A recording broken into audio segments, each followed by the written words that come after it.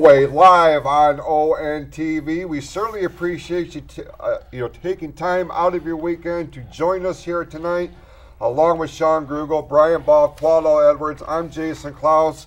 And gentlemen, we have a lot to talk about here. A lot of moving and shaking going on. We're going to bust somebody apart here in just a moment or two in relation to the Bash in Berlin recap, and that's how we're going to kick things off this week on the show. Uh, it went down in Berlin, Germany. A what I could not believe when I heard the largest gate for a WWE show of all time. Yeah. Doesn't matter where it was held in the world. This event broke the gate record for a live WWE event, and that is really incredible unto itself, Q.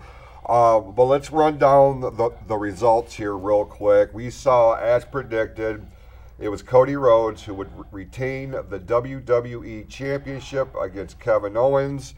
Dave Meltzer would give this match four and a quarter stars. Q, what, what what's your thoughts on this? Wow. Wow, he went higher than I actually thought he was going to go. Uh, man, okay, all right. I mean, I wouldn't give it that high, but uh, I mean, I thought it was solid, you know, for what it was. But uh, wow, four, four and a quarter. All right, Four and a quarter. All right, Yep. Dave, Dirty Dave.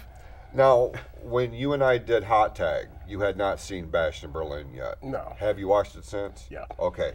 Um, C- Cody Rhodes and Kevin Owens. Was this what you expected in terms of, of the match itself? It, it was. I mean, it was a decent match, but Uncle Dave has got to save some face here. You know, after giving six and a half stars to the AEW pay per view, Right. so he's got to make up some ground here. So of course he's going to go a little bit higher in the main event at you know Bash in Berlin.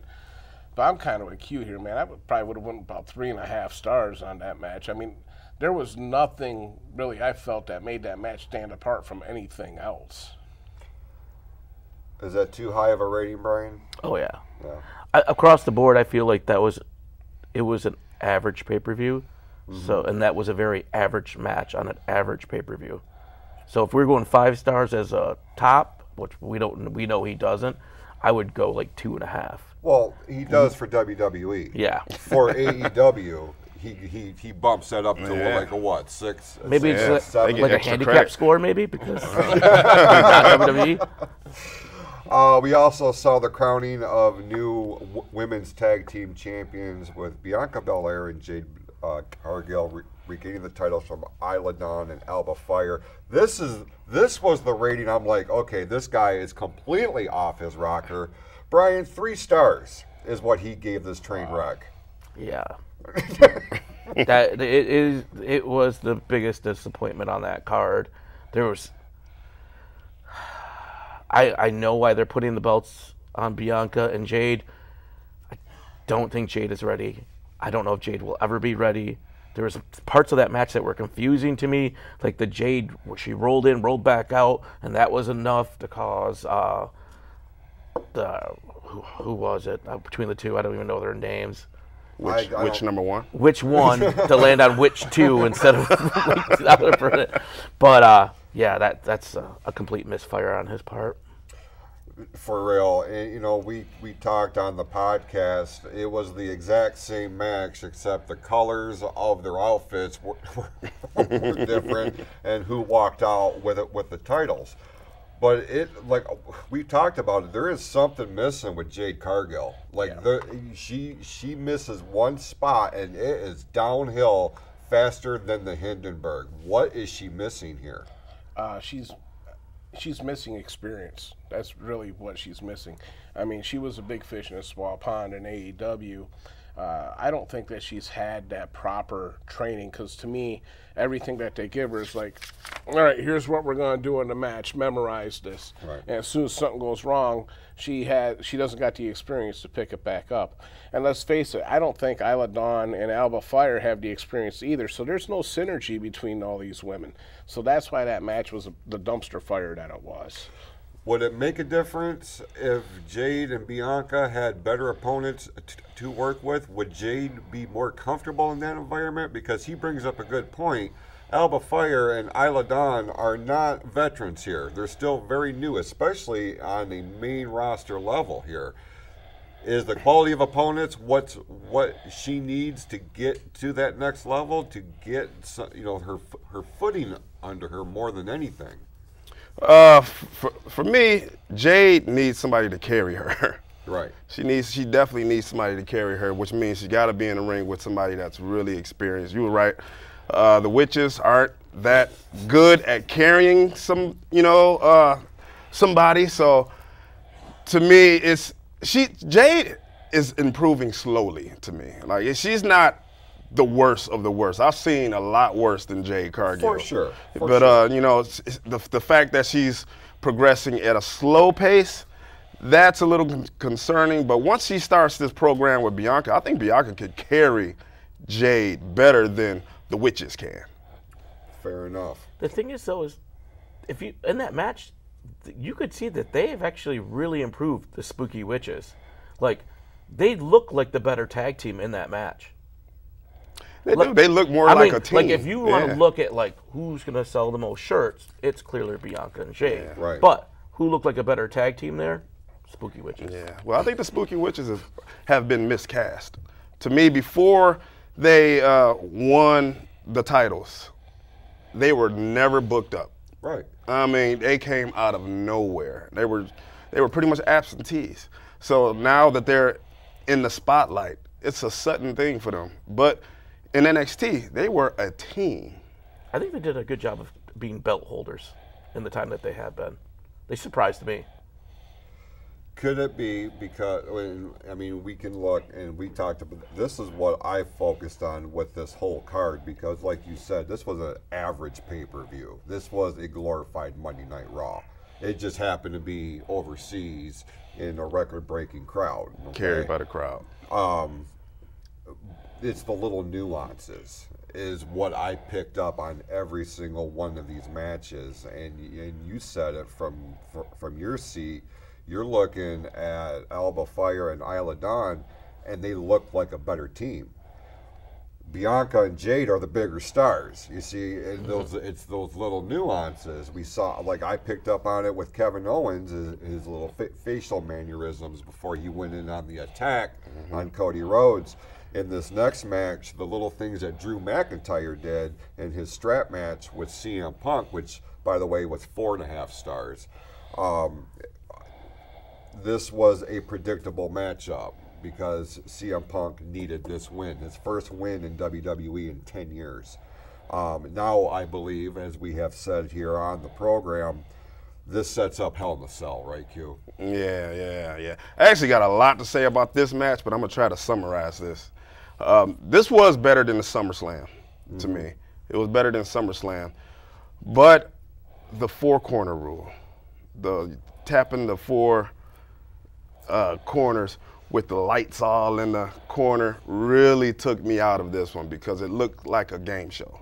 it looked like I was watching a game show. I was waiting for a buzzer to go off. It's, it, was, it was too for a blood feud. I wanted to see more of a pummeling. I'm, I, I want to see these guys really go at it, strap each other up, bam, bam, you know, and try to go for the kill. But they're going for Kind of like something I- you'd see at a halftime at a rodeo. yeah, yeah, it just didn't fit to me. You know, I know it's the old school rules, but with the lights all in the corner and stuff, man, it was just it. It really took me out. See, I would have rather seen like a first blood match or an I quit match in this one. More probably leaning more towards first blood, even though we've been seeing blood in their matches. But for that reason alone, because we've been seeing seeing blood, so they would have to be a little more careful in order not to end the match early to lead to the Hell in the Cell match. But Hey, this is what we got. We got the strap match, and you're absolutely right. You know, waiting for a whammy to come out of the corner when he slaps the top of it. I, I've been in strap matches before. I've been in bull rope matches before. You know, they all generally seem to end the same anyway. You know, you got that whole caveat at the end, and I mean, how many how many stars did Uncle Dave give? Uh, four and a half. Three and a half, four tops. I, I would think. I, I mean, they were they they weren't light with the strap, but at the same time, to me, it wasn't about the strap. It was about the story and the stupid bracelet. To be honest with you. Hell in the Cell is the only way to blow this off, right, Brian? Yeah. Is, there another st- another t- type of match that they could have that would be fitting? Because I mean, as far as rivalries go, for 2024 in WWE, this one has had probably the most heat out of all of them. Yeah. Uh, you know, and you gotta, and with Bad Blood on the horizon, and this is where Hell in the Cell made its debut in '97. It seems like all the cards are in place. This has to be it, right? I, I yeah, I, I think it's definitely gonna have to be Hell in a Cell. I feel, I mean, I could I could easily see them doing, uh, Liv and Rhea, Hell in a Cell as well. Right. Um, I don't mind the idea of a first blood match with the two of them. I hate I quit matches. I don't want to see a street fight. I think those are always terrible. There, it's well, it's We've seen those a lot. Yeah. It's you know they just put fancy titles on them. Right. You know, same same concept for for sure. Well, we just seen that with Braun and uh, Bronson. Bronson. So What kind of stakes can you put on this match to actually end this feud and just tie a bow on it? At this point, it doesn't seem like there's anything. It seems like these two guys are going to hate each other forever and always want to fight each other. What I like about this rivalry is, you know, back in the day when you had a long running rivalry and you were going for that big blow off, you brought the steel cage out. Just your regular steel cage because it was an attraction. Well, now as the business has evolved, this is, you know, the steel cage match can happen on any random Monday night, Friday night, Wednesday night at this Right, point. yep. Um, so to bring in Hell in the Cell with the with, with the pageantry that that that structure has, I really feel like um, all roads are are leading to, to this, and I really can't think of another rivalry other than the what what you're talking about with Liv Morgan and Rhea Ripley. Um, being held inside Hell in the Cell, so that remains to, to be seen. just real quick, you know, I, I caught a little nuance of CM Punk wearing the Larry the Dog shirt, best in the world. I don't know if you guys caught that or not, but you know, this is why I'm kind of leaning towards the I Quit match because I can almost see a finish where Drew has Punk in some in some kind of hold or maneuver, and someone who's siding with Drew has Larry the dog. Either you you do something, or I'm gonna, you know, you quit, or I'm gonna hurt the dog, type of thing. You know what I'm saying? To kind of give this up and to and, and continue the feud. No, I know Yeah, it that's sounds definitely silly, gonna but continue That would be that would be awful. but God, dude, we we, we well look at Pepper with the big boss man announced. Big Boss No. Man is the they, they, they, they Oh my God. from that debacle. Oh Big Boss Man is the greatest heel of all time because of that. Dream- Yeah, the kennel from hell is that how it called Yeah. it? Oh Lord. Man, and then he, then he, uh, what did he go to the funeral home for uh, the Big Boss Man and drug his dead dad across the? Oh, for um, Big, the Big Show? Show's dad, yeah. Man. Oh Lord. Jeez, man, Big Boss Man. Shout out. Yeah. In a three in a three and three quarter star fair, the mixed tag team match saw Damian Priest and Rhea- Rhea Ripley beat uh, uh, Dominik Mysterio and Liv Morgan. I thought this was actually a better match than three and three quarter stars, and I really looked forward to, to this as far as a mixed tag team match. And I said that, I said it on the podcast. I looked forward to this match more than I did Macho Man and Sapphire or Sh- Sherri against the American Dream and Sapphire back in the day. What, what was your opinion? I, I think it was one of the better matches on the card. Um, it would be between that and uh, Gunther and Randy Orton. Like those were obviously, I think, the better of the ones. I would probably go more around the four star range for both of those. Um, yeah, I'm trying to remember that match now in my head. I'm like, replay. I remember liking it, but I don't remember much of it. Well, as far as mixed tag matches, where where will, will where will this one be ranked? Oh, I don't even know, man. I, I, you know, like I told you before, I would have wrote this a whole lot differently. I, I don't like the idea of the Terror Twins. Uh, I, I would have liked to seen Rhea turn on Priest, and that way we could have got the return of the Latino Heat with Dom. But you know that didn't happen. So I, I mean, is it going to be etched in history? Eh, you know, it'll be talked about, but. I, I, I think I'm kind of with Uncle Dave on this one. I'm still going to go three and a half, three and a quarter stars. I'm, I'm, I'm gonna say this: Rhea is a huge star. Yes. She is huge. She is over, probably uh, the fifth most over star, men and women. You look at that graphic right there. She's the one that pops off the screen first. Yeah, she's she's a huge star. I mean, just her being in that match, man, it was just. But uh, for me, the match was fun. I see it as a fun match. Like it was, it wasn't like overly, uh, you know, out of this world or anything like that. But it was it was good fun. I would give it a three, but then I would bump it up to a four once Rhea did the pin on uh, Liv Morgan. Okay, now I remember that. Uh, the main event saw Gunther retain the World Heavyweight Championship against Randy Orton. This one got four and a half stars. There was some some debate as to what match was going to close out Bash in Berlin. I'm really glad they went this route with it. Um, both guys came out of this thing looking like a million bucks. Randy Orton, the consummate p- professional. This match was exactly what it had to be, in, in my view, and a great way to end th- this this event. Would you agree? Absolutely. What really stood out for me in this match was the selling. I mean, these guys were selling the beating that they were giving each other, and uh, and I love that. You, I hate when people just go to the next spot and act like the last spot didn't happen. So these Right. guys really, really uh, uh, showed the beating. And uh, man, Randy is a big dude, man. I didn't He- realize he's how gotten big. He is getting very meaty, and oh man.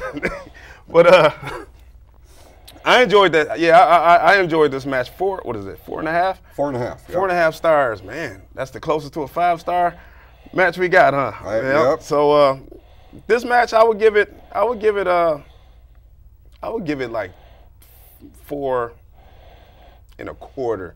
It was. It, it, it got real slow. It did get real slow, and I think they could have shaved about at least five minutes off Sure. because it, was, it went about what 35 minutes. It was a very long match, but uh, the crowd was into it. I mean, you know, so it was it was hot.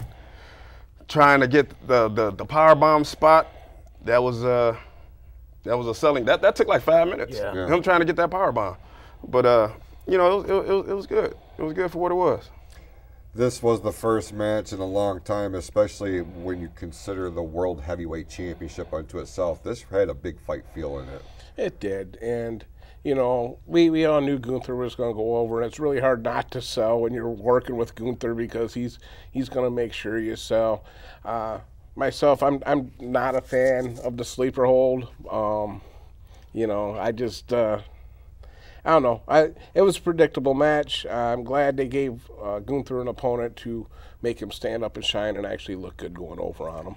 That's what made all the difference because this would not have gone as well for, for Gunther's first outing as world champion if it wasn't Randy Orton, right? Yeah. Uh, the things I took away from the match was how much fun Randy was having out there, especially with that crowd. Yeah. You could you could see it. He was having a blast. And two, am I right in remembering did Gunther come out with blood already on his chest? Like it was already speckled up on his chest before that match started. And I was like, what happened there? That was from uh, the Damian match, I believe. Was it? It may SummerSlam because he was cut. Yeah. He was cut there. I Yeah, don't he think was it like fully looked like healed. he was already like bloodied up Yeah. before it started. Gunther is um, this this dude is going to be the face of the company like before long. He he just has such a presentation. He is very authentic. You look at this dude, like that's a guy that's going to mess people up in real life if he really wanted to. Like there is no doubt about it. Uh, so now we're, we're we put Berlin in the rear view. We're now on the road to Bad Blood, and we're, it's going to be very interesting to, to see how that unfolds in the weeks leading up to the next premium live event. Which leads us into the fall season. And with the fall season, especially in the television network world, uh, a lot of moving parts are happening, and the world of professional wrestling is no exception. Beginning next week will be the first of several changes that are coming for WWE and changing shows from one network to another, and it starts next Friday, September the 13th, when SmackDown will be moved from Fox to the USA Network.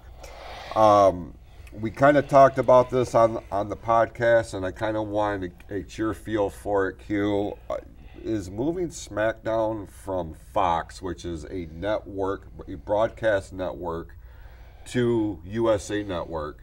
Is that a downgrade in your view? Is that going to be per- perceived as a downgrade? Heck no. I hate Fox. I don't know about you guys, but I'm so sick of looking at SmackDown and seeing all the black screens and every time somebody say a, a, a cuss word, they cut they cut the whole feed off. Yeah. Yep. I mean, Fox is terrible. Okay. I'm done with them. Okay. uh, m- moving SmackDown to USA in in the long haul, like much like you're saying, and I did not take that into consideration, but is the creative freedom going to be worth leaving the exposure that Fox brought to to the show? You know, I didn't think about the way Q put it either uh, when we talked about it on the podcast. I just thought it would be more accessible for people without cable systems to be able to watch it on Fox. But um, yeah, I think the creativity might, you know, be a little bit un- unleashed, so to speak. And uh, yeah, it, I, one thing I do kind of hope from all of this is we see less picture in picture. I, I, I hate picture in picture. If we're going to do commercials, let's just go to a commercial, you know. with Raw going to Netflix in January and all of the anticipation of what that content is going to be, we're obviously expecting a TV 14 rating. You know, they're going to go back to er- Attitude Era esque storylines, right? So, in order for SmackDown to keep up c- creatively, g- going to USA Network had to happen, right? In, in, in your view? Absolutely. Uh, I don't think you can have one pushing the boundaries and having one on the level of a Disney.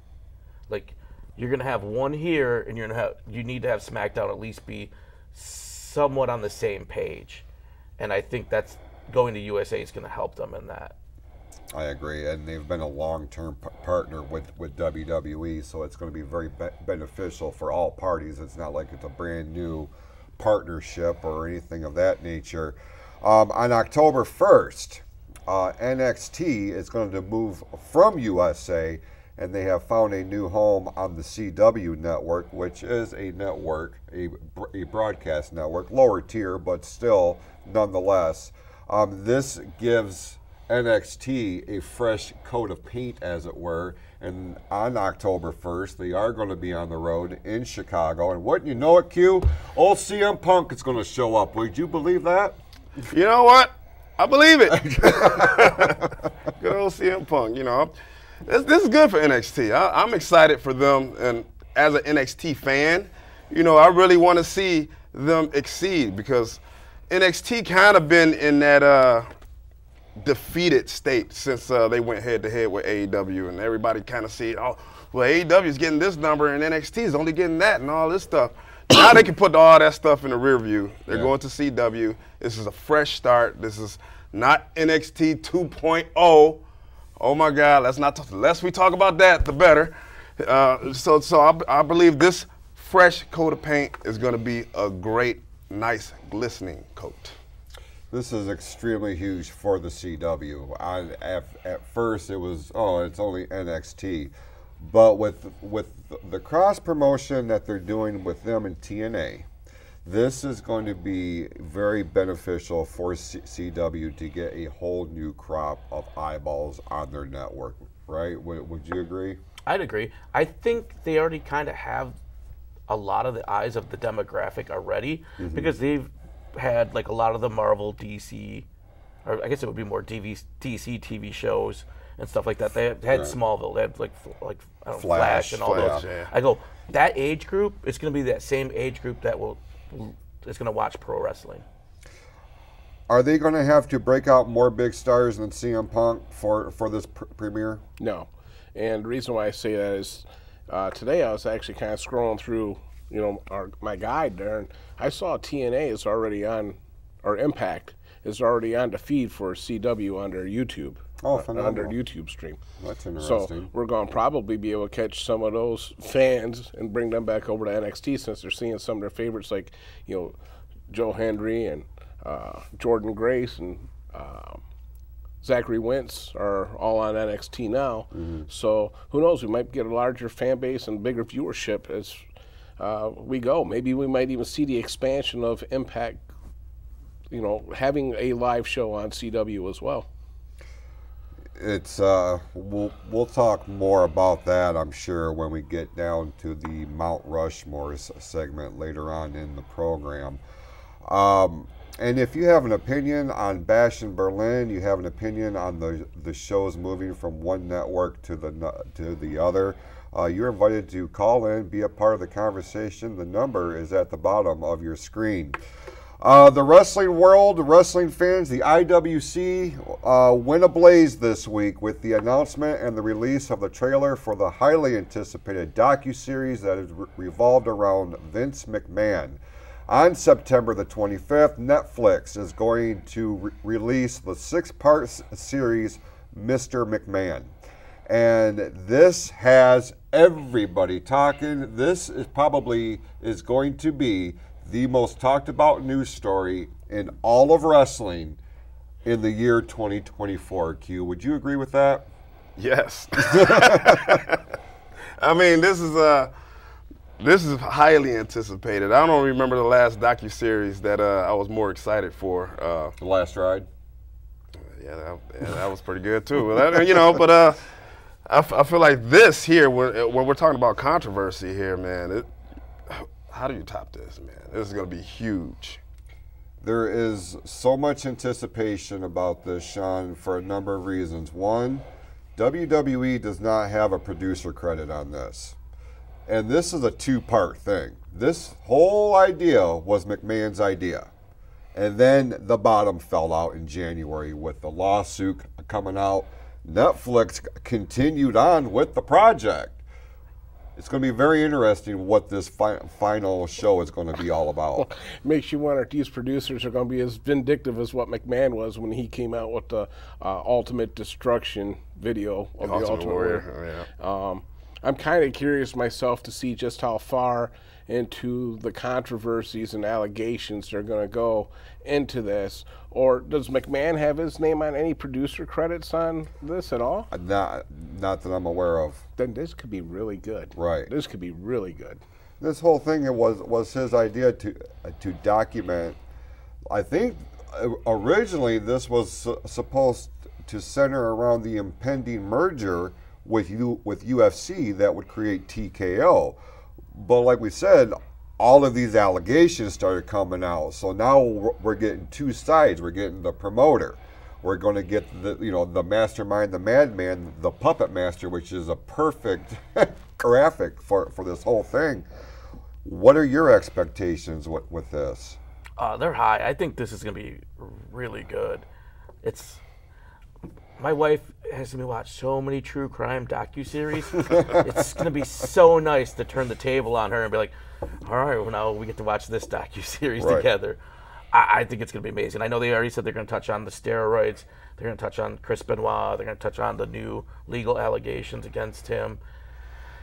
Ah, it's it's it's gonna be a fun watch. It's six parts. I'm like, that's gonna be awesome. Yeah, and apparently they're going to they're going to re- release them all at once instead Yep. of week by week. So, Uh, yeah, mark your calendar, September the 25th. Uh, That's a it will- Wednesday. it- is it? Yeah, I already marked it. Okay, well, he's done it. It is a Wednesday. Clear your see Book of schedule for that that. Wednesday.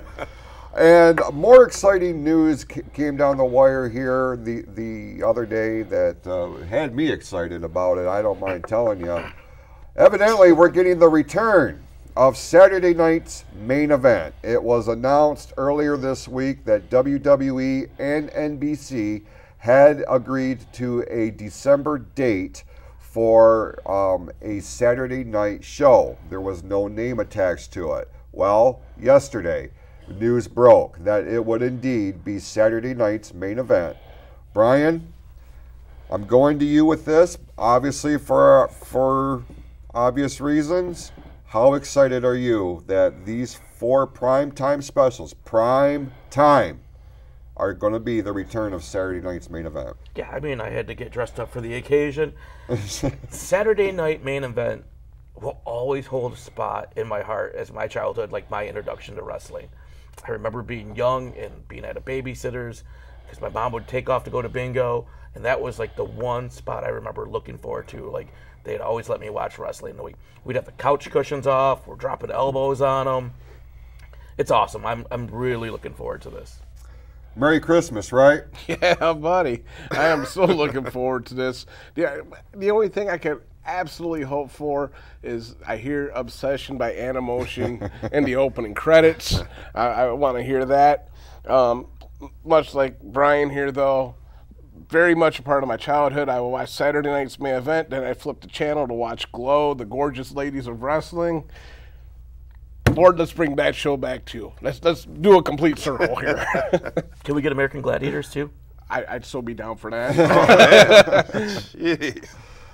Expectations for the return of Saturday night's main event. High. Yeah. high. Not me high, but it's my expectations are high.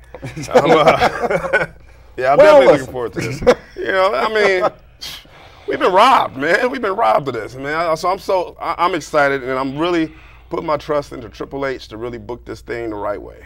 He- So far, he's his track record has been pretty. Doing pretty good. He's He- doing pretty good. Keep up the record. Don't stop now. Right. And as far as All Elite Wrestling goes, no news. With that, we're, we're going to take a quick timeout. We'll be back with more of the Fatal Four Way live on ONTV right after this. Invited to celebrate the arrival of fall by coming out to Camp Agawam on Saturday, September 21st from 11 a.m. to 3 p.m. The Fall Festival of Family Fun offers crafts, a petting farm, carnival games, and a hay wagon ride to a pumpkin patch. There will be plenty of fun photo ops, and best of all, parking and admission is free. The entrance to Camp Agawam is located at 1301 Clarkston Road. For more information, you can call 248 391 0304 extension 3500 or visit orionparks.com. Guys and ghouls of all ages are encouraged to lurch, stagger, and stumble to downtown Lake Orion on Saturday, September 21st to take part in the 11th annual Zombie Walk and Poker Run. The Zombie Horde will gather at Ed's Broadway gift and costume, and as the clock strikes 8, begin the March of the Undead to several local eateries offering drink specials and appetizers. Although we can't guarantee that brains will be on the menu. Money raised from the event benefits the Orion Lighted Parade, scheduled for Saturday, December 7th. Call Ed's Broadway Gift and Costume at 248-693-4220 to get involved today. If you dare.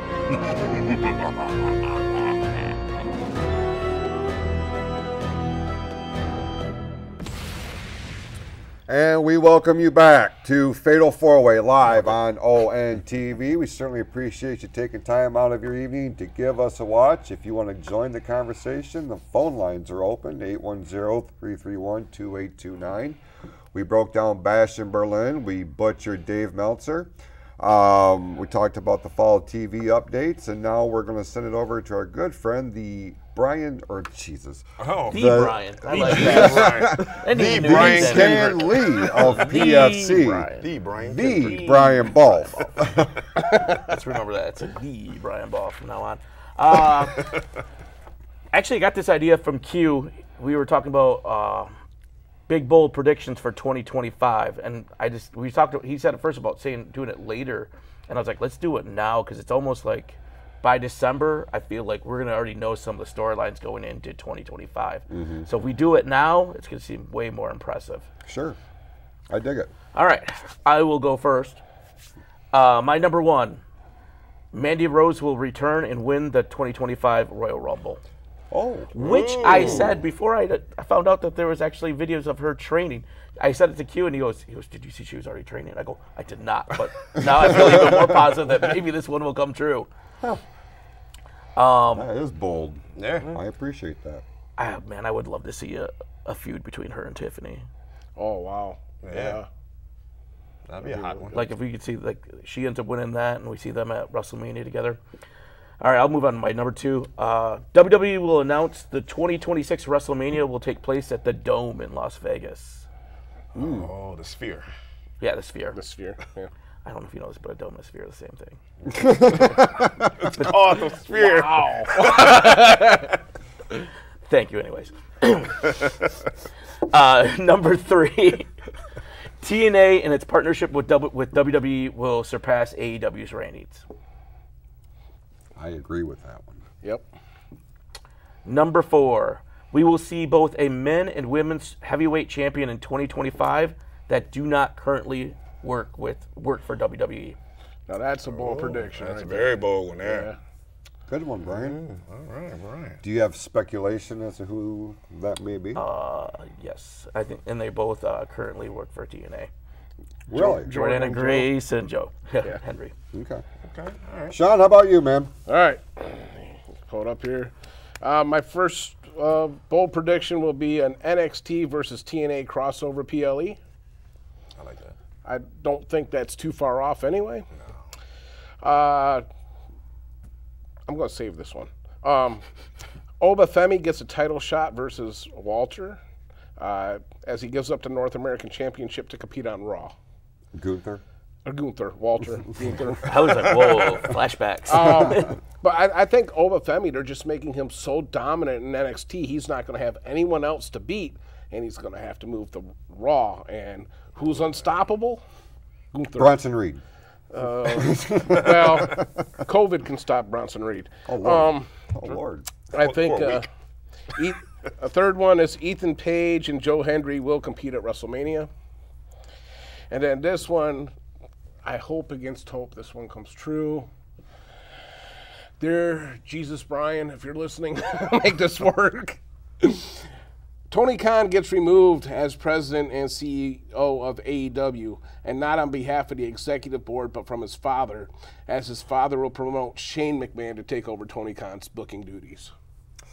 A lot of speculation with Shane McMahon showing up there. on uh, AEW here short sooner rather than later. Jon Moxley made some c- comment the, the other Oh, night. yeah, I this seen ain't your company no more. And it's like, oh, what what do you Yeah, mean by I see that? Yeah, what does that mean? Hollywood. All right, it's on me. Okay, you guys are really bold, man. All right. My first one 2025, Vince McMahon will be charged. Okay. Okay. He will be charged. Number two. I don't know how bold that is. I kind of Yeah. see that going. Yeah, that's gonna, yeah, that's gonna happen. Yeah. He's not getting out of this one. Uh, number two. We'll see the return of Aleister Black. Okay. Number three, and this one is not as bold, but you know, it is what it is. John Cena will defeat Randy Orton at WrestleMania for the WWE Championship. Okay. Well, that's a prediction within a prediction. There. Yeah, yeah. You see, you see, There's layers. yeah, to that line one. that I up. see what yeah. you did there. You see what I did there? yeah.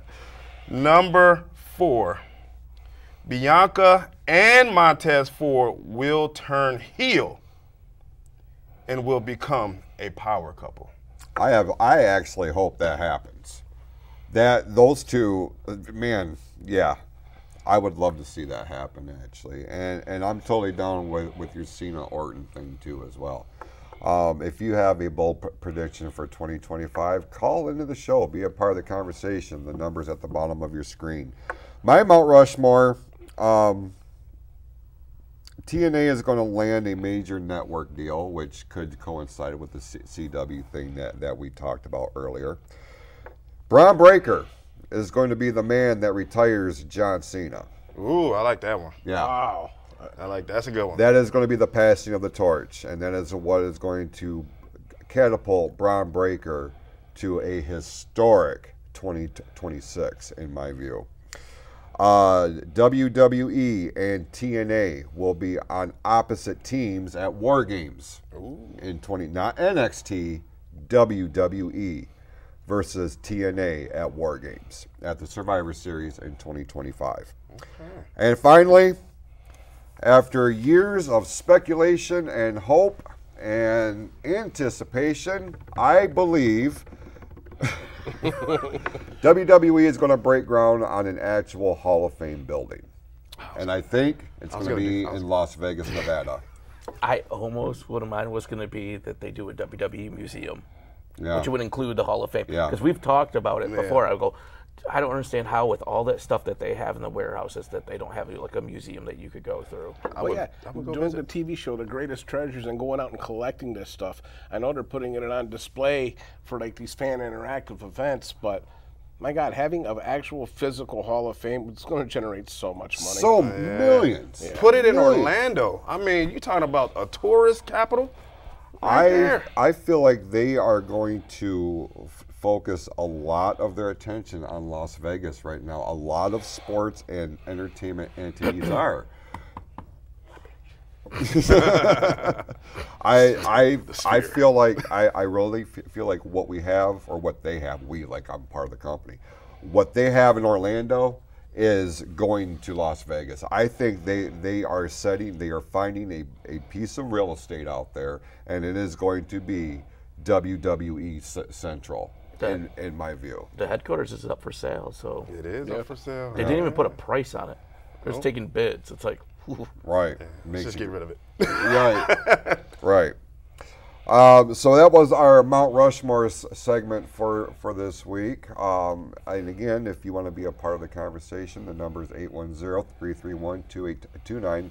Phone lines are open if you want to be a part of the conversation. With that, Mr. Grugel, we are going to turn it over to you with the debut of your new segment. Yeah, so we're going to do uh, shooting the ropes here. That's my nice AI generated logo that I, that I uh, typed in and came up with. Um, you know, I had a couple people asking about why the name shooting the ropes. Well, there's a few guys. Uh, without them, we wouldn't be doing this here today. Uh, we wouldn't be doing the podcasts. Um, guys like Joe Johnson, who was in the control control desk in the back here, uh, Tim Williams, Sean Sisk. They did a show specifically on this TV channel at one time called uh, The Jobber Hour. And Sean uh, Sisk did a segment called Shooting the Ropes. And I got a hold of him and I asked him, I said, Sean, you know, kind of in tribute to what you've given to us, you know, you start you started the foundation. I'd appreciate if you let me use the name of your show so that we can continue on with it.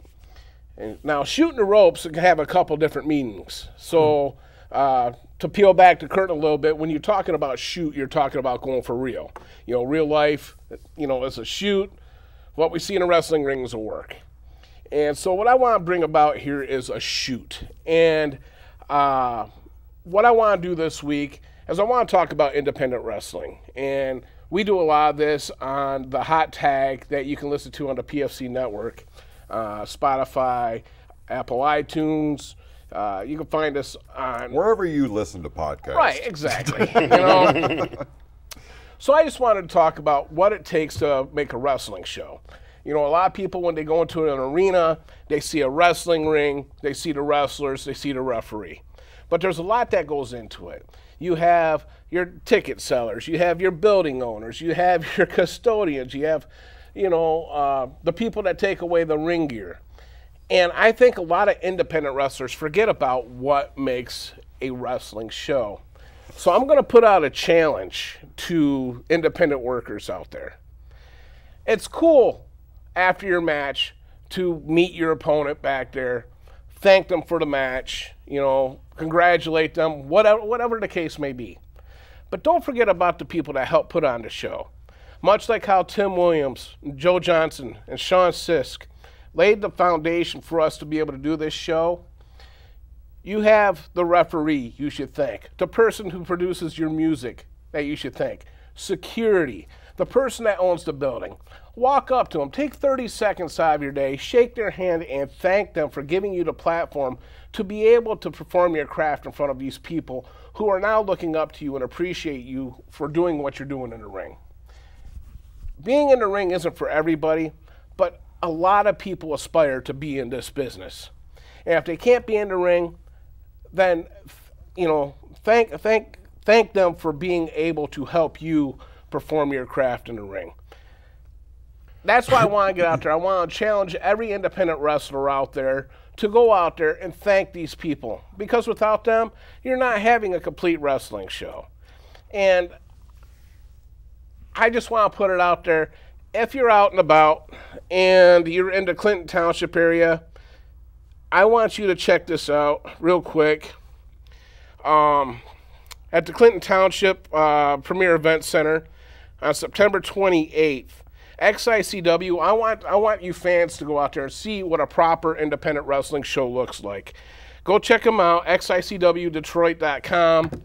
I'm not going to go through all the names because it wouldn't be fair to me to list every you know their their show and not list every promotion out there. I got away from that. But wrestlers, when you go perform on this show, thank everyone from the person that owns the building to the person cleaning the toilets because without them, you wouldn't have the platform that you got to be able to perform your craft. And to Joe, Tim, and Sean, thank you. Thank you for laying the foundation for us to be able to what we're doing here today on the Fatal Four Way. That's what I got for shooting the ropes. I'm going to tag in on that. It doesn't necessarily come right down to just the workers, it's the promoters. It's the people who are running the show. It's the people who are supposed to be teaching the young talent on how to be professionals. It's more than just taking a fistful of money and showing them how to, for the lack of a better term, shoot the ropes, to take a back bump, to be to be able to execute your basic ma- maneuvers. That's scratching the surface. You're not teaching anybody anything other than how to be a con man or con woman and that is the underlying ugly spot of professional wrestling, especially in the independent level. Now, much like what Sean was saying, the guys and the gals that are that are coming up in the business in the here and now have an opportunity to take this business to the next level. And just when you think wrestling cannot get any bigger, if somehow or another finds a way.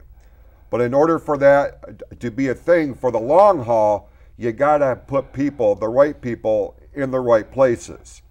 And if you do not have a solid foundation on what this business is built upon, this business is doomed if you don't instill the basic fundamentals of what made this business as great as it is. And without the right people, without the right performers, without the right athletes, our time in this world is limited. Now, people will say, well, the business is evolving. Yes, yes, it is, because the right people are in the right places. But eventually, if you don't establish nonstop from now till the end of time the basic foundations of what made professional wrestling as great as it is, this will go to the wayside like so many other sport and entertainment entities. The story with professional wrestling will just have more chapters. To the promoters, to the trainers, and I don't mean the reputable ones who have been more than established for X amount of time. Because there are reputable names, especially here in the state of Michigan, that have earned a reputation that they are the go to on how to be trained properly if you want a future in professional wrestling. And you do have your goals, your dreams, and your aspirations to move to WWE or AEW or TNA or wherever your heart desires. But make no mistake about it. If you are not a properly trained professional from head to toe, inside and out, your time here is, is numbered. Your time in the spotlight will be very limited. And yes, I realize it's individualized, but they have to be taught. And trainers, promoters, owners, whatever you call yourself, this goes back on you because you have a responsibility. You not only do you have the responsibility of booking the venues and all of that stuff, you have a responsibility to train the next generation of talent.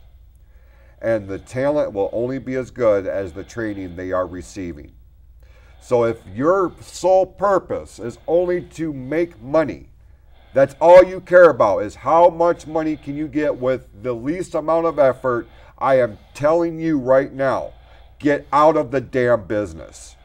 You are a stain, you are part of the problem that is manifesting across all realms of social media, especially. You see it with the IWC. The IWC wouldn't be as toxic as, as it is if there wasn't such toxic people who are trying to poison the future of this business because you're more interested in making money. It goes beyond that. If that is your sole purpose in professional wrestling, you are here for the wrong damn reason. Straight up. And you know what you lack? You lack heart. You lack the vision to be a part of something not just that benefits you, but an entire culture that has really shaped sports and entertainment in this country and around the world.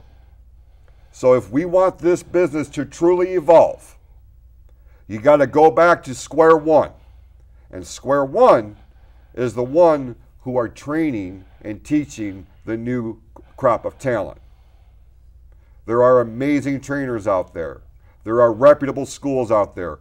Do some research because you get what you pay for. I'm telling you that right now. You get what you pay for.